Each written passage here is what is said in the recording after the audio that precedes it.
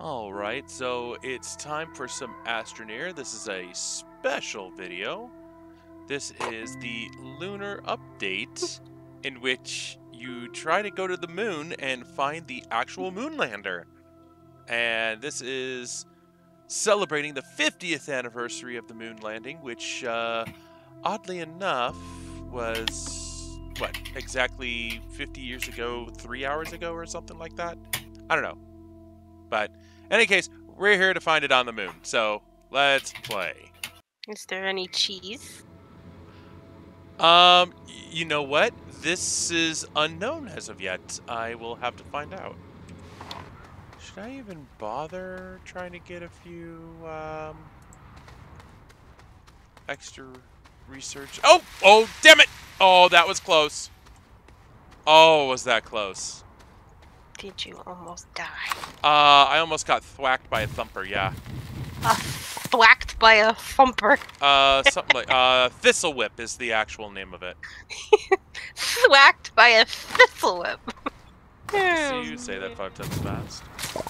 Thacked by a thistle whip. thacked by a thistle whip. thacked by a thistle whip. Or actually, you know what? Chicken butt. Well, yes, chicken butt indeed.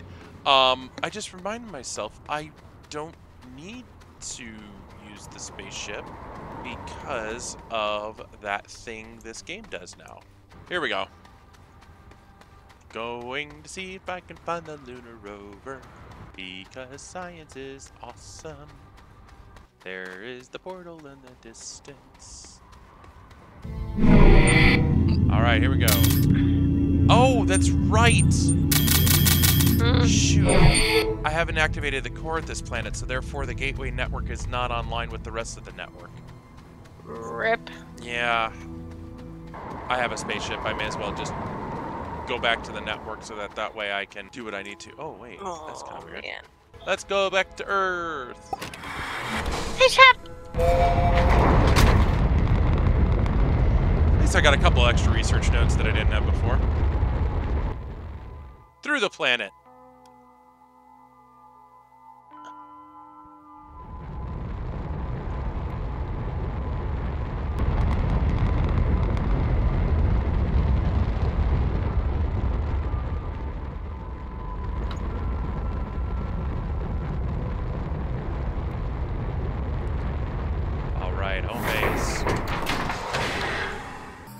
Now then, the only thing that I'm going to probably need are batteries and oxygen tanks. Let's pull the extra oxygen tanks.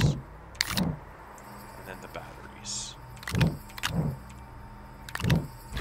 Whoa, whoa, yeah, nope, nope, nope. Back. There we go. Okay.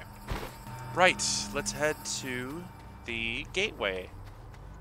as far as I know, the only part of this mission is just finding it. All right.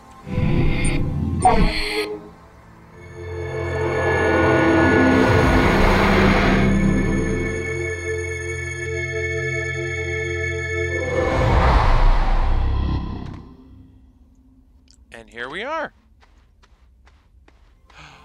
Oh.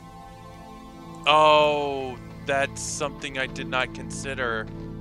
Hmm.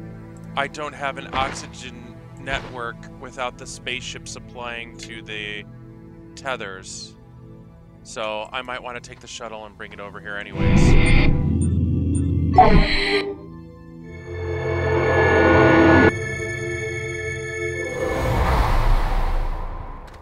So then, a rethink on this. I will indeed want to use a spaceship to get to the moon rather than the travel network. Alright, so we got this little guy here.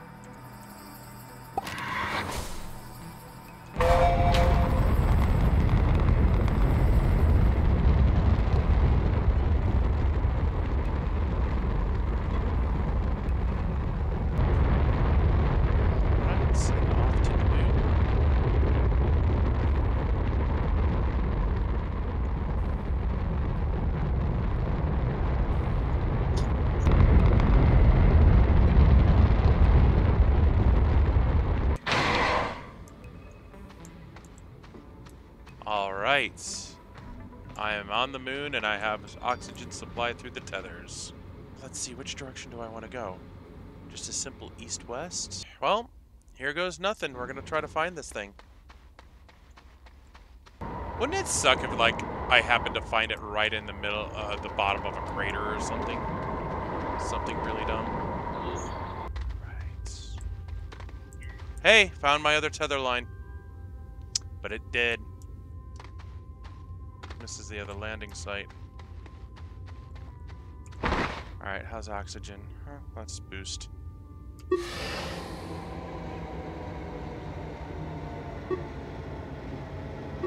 Wow, that consumes quite a lot of power.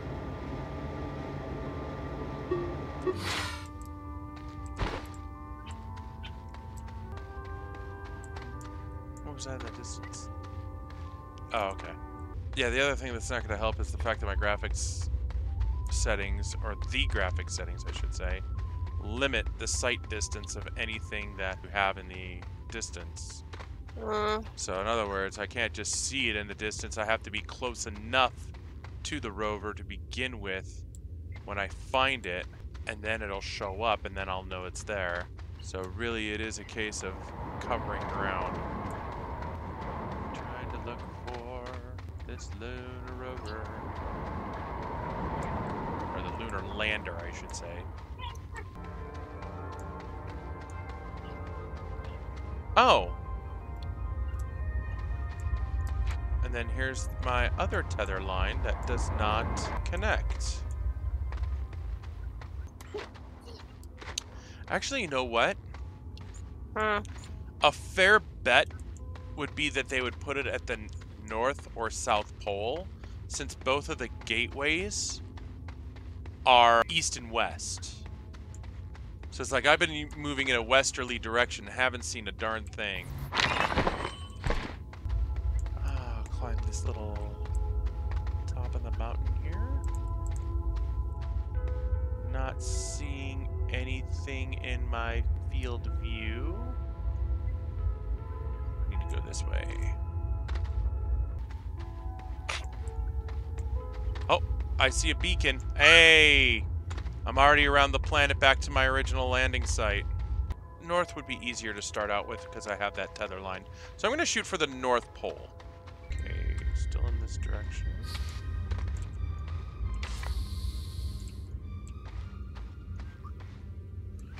Let's see. Oh, I have perfect timing. I have just the one tether left, and I'm in a patch of car uh, compound. Alright, I'm getting pretty close to the pole because of the way that things are rotating around the planet here. Alright.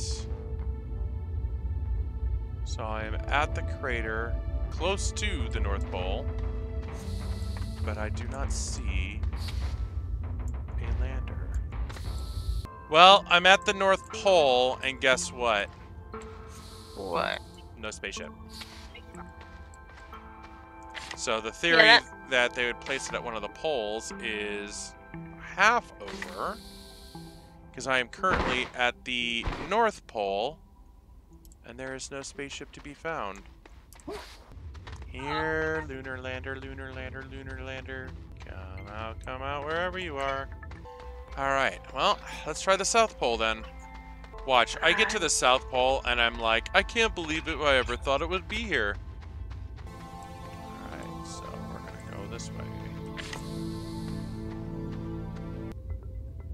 At the South Pole crater, by the looks of it. Yep, and there we are. We're at the South Pole. Where did it land on the actual moon? That thought did come up in my mind, but I don't know if they would have been so Why not? Well, because of the fact that the the way that the uh, worlds generate, it's done by um, you know, by seeded numbers, you know, as a procedural generation. So there's no guarantee that everybody's moon is going to be the same.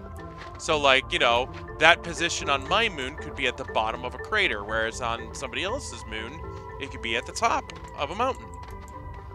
Well, I mean, still. it's worth a, a look. Yeah, I'm just gonna finish my circumnavigation on the north. I mean, if you're gonna go so far as to do this special for the anniversary, why not put it near where it landed on the actual moon? Yeah, I'm gonna have to do that research, I think. Or not! You found it? I think I did! Okay, I'm gonna tether this bitch.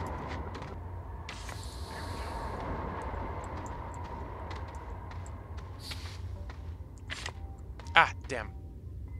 Keep missing tethers.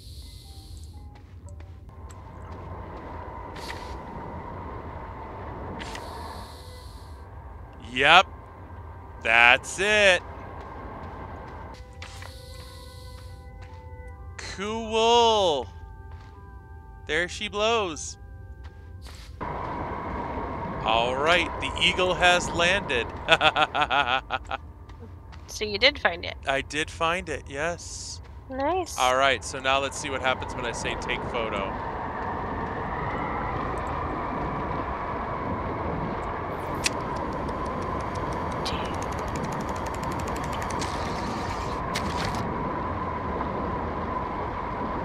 That's cool.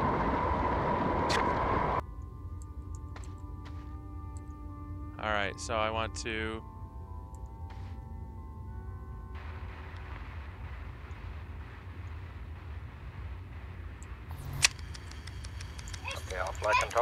15 seconds to CSM out. Cool. Listening to the radio transmissions now. Oh, AOS CSM. All right, hang on. I'm gonna come in there for a second. Check, check it out. All right. We are at attitude.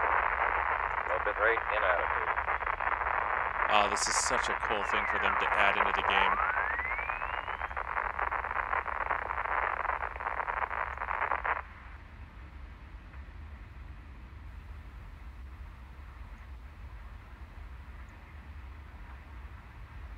Just taking this all in. Procedures from flight, we make sure the doors get secured now, please. all right. Let's listen to the moon landing on the moon network, we have in Astroneer. both weak signal strength. while moonwalking. Gotcha. Okay, all flight controllers, gonna go for powered descent. Retro? Go. Fido? Go. Guidance? Go. Control? Go. Telcom? Go. GNC? Go. EECOM? Go. Surgeon? Go. Capcom, word go for powered descent. I think we better be quiet, Frank. Right. 400 feet down at 9. Okay, the only call outs from now on will be fuel. Gate forward. 10 and 50 feet down at 4. 40 feet down, 2.5. Picking up some dust. 30 feet, 2.5 down. Straight shadow. Stand by for 30. 4 forward. 4 forward, drifting to the right a little. 30. 30 Down a half. 30 seconds. Forward, just. Contact light. Okay, engine stop. ACA out of detent. Mode control both auto, descent engine command override off. Engine arm off. 413 is in. We've had shutdown. We copy you down, Eagle. Okay, everybody, Listen, T1, uh, stand by for T1. Tranquility Base here. The Eagle has landed. Roger, Twin. Tranquility. We copy you on the ground. You got a bunch of guys about to turn blue. We're breathing again. Thanks a lot. Okay, T1, stay no stay. Retro. Stay. Fido. Stay. Guidance. Stay. Control. Stay. Telcom. Stay. GNC. Stay. EECOM. Stay. Surgeon. Stay. Capcom, or stay for T1. Okay, it looks like we're venting the oxidizer now. Roger, Eagle, and you are stay Right, for control. T1. Go, Over. Eagle, We're you are venting stay for T1. Right, betting odds. Roger. And we Sam, stay for T1. And there we have it. They landed. All right. Well, I am going to end transmission myself. And what a pleasurable thing. This is why I love this game. Big ups to System Era Softworks for doing this in what was already a special game, special moment, commemorating the 50th anniversary of the moon landing.